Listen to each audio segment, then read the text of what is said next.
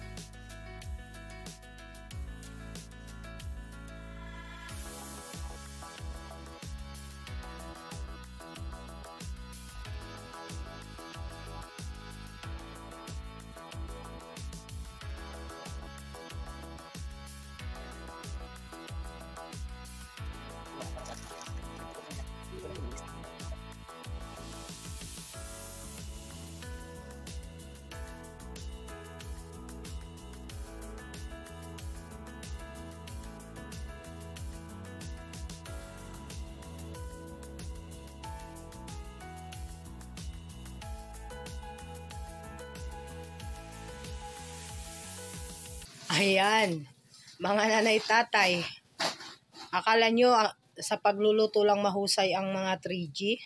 Unti-unti nang nagkakaroon to ng development. Oh my God! Tingnan nyo ang katawan ni Nanay Jocelyn.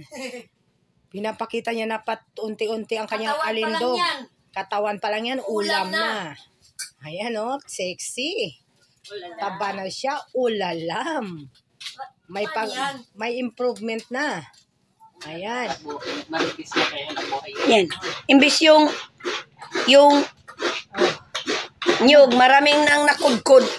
Kinakain din. Wala akong kinain ha.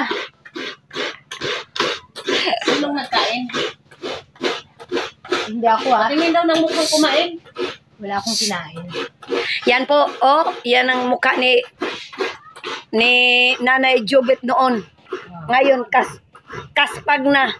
Yan kasi nagkasakit, walang pambiling gamot yan. Ano? Kawawa sa buhay. Sama ng ukali mo. Eh, huwag ka mandaot. Sabi ka no? Sabi, huwag ka mandaot. You know? Tingnan nyo. Huwag kang mangdaot. Noon pala si Nanay Jubit, anong mukha niya? Maganda ako noon, di ba? Ganda. Ngayon, Pangit na. pangit. Huwag ka mag-alala. Yan. Pag nagyaman ako, Malapit na po yung iwanan ng asawa. hindi kasi makaiwan. Yan si Nanay Gigi. Si Donya Agata. Feeling mo. You know? Diba? Ito po, nagsimula na po yung aming shape. Sip-sip. Sip-sipan. Ano, sip-sipan o sip-sipan?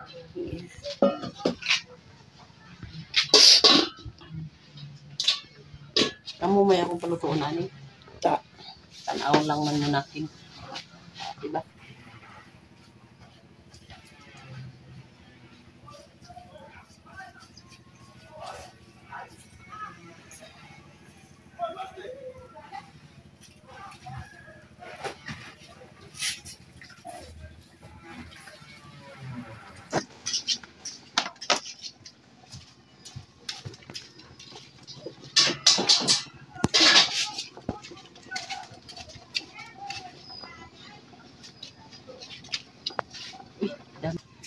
Ayan po yung gata.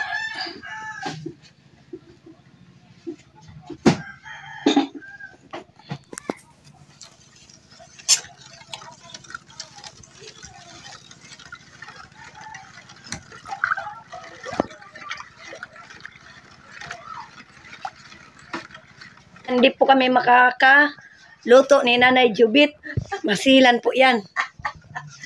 Joke lang yan. Hindi totoo yan. Joke lang yan.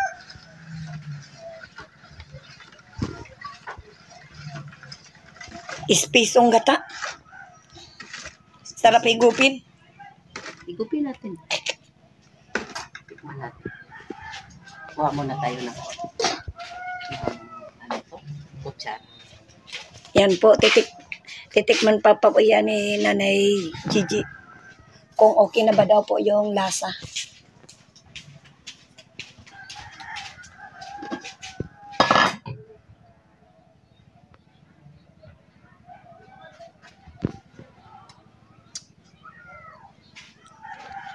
Matamis. Hindi medyo maalat-alat pero kulang pa din sa alat. Kaya lalagyan pa natin ng aso, ano, asin. Huwag kang mag-alala na medyo sinin asukal yan. Joke lang, asin yung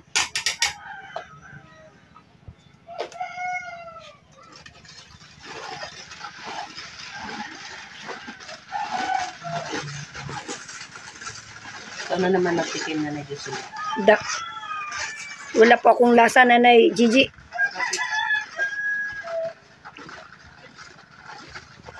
Nakatrangkaso pa ba? Nakarang araw. Ay, so, wala na yan.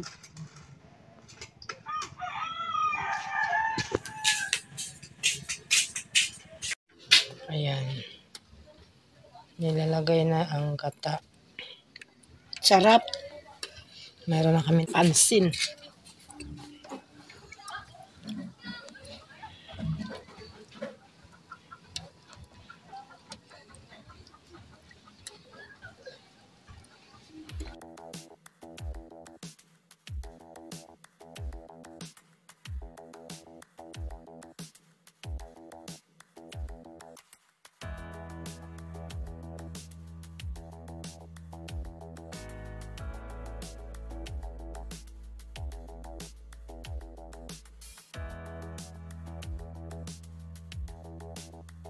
Silin, kawawa naman.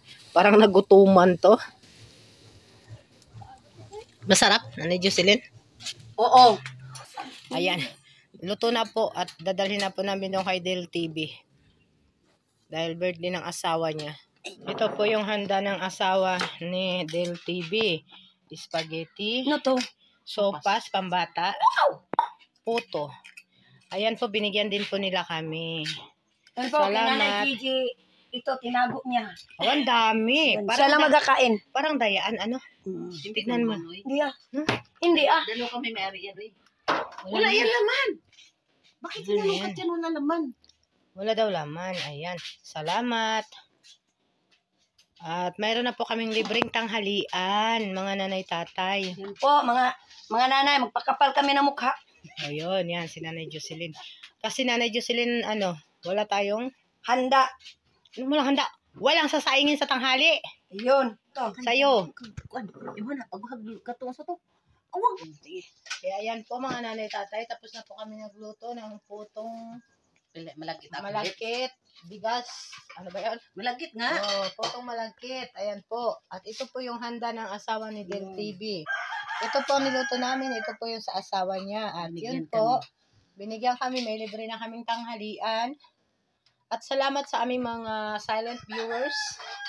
Kay Ma'am Hashimoto, kay Sir Lopercio de la Cruz, Ma'am Oliva Mendoza. Oo. Ma'am Ima Gokon, kay Arnel Tayo, Wow. Kabisan. at ah, Ma'am Testy Sir. Wow. At doon po sa iba kong hindi nabanggit na parang nakalimutan ko yung pangalan, medyo nagka-amnesia po ako kasi sila na Jocelyn, lagi akong binuburaot. Ayan, kasi laging masakit ang ulo niyan. Walang pira. Huwag ka maingay. At salamat po sa inyong walang sawang panunood. At sana po, wag po skip ang ads kasi po sa totoo lang po, ilang buwan na po kami walang sahod. Yon, para makabili ka ng gamot. Ilang buwan na po kami walang sahod pero tiis lang po kami dahil umaasa po kami kay God na darating ang araw, lalaki rin po ang sahod namin at baka biglang mag million. Joke lang po Yun. At Sana sa all. nanonood po sa amin, ingat po kayo sa tatlong titas. Yun. So saan man po kayo naroroon, sa lolo po ng kanipo, pagaling na po kayo lolo, kung Ayun. meron man po kayong nararamdaman, ingat po kayo palagi at God bless po sa inyong lahat, kahit mahirap ang buhay, tuloy pa rin po. Yun lang po, bye-bye. Bye-bye. Ingat po kayong lahat. Ingat.